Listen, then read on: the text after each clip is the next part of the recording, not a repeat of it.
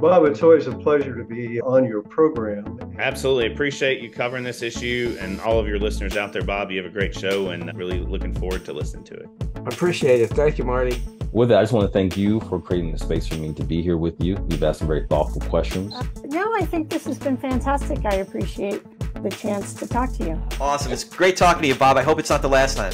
Friend, thank you so very much for the work that you do. I appreciate the opportunity to share my story and and have a few laughs. And, and it was great. So thank you so very much. Very much indeed. A fascinating interview.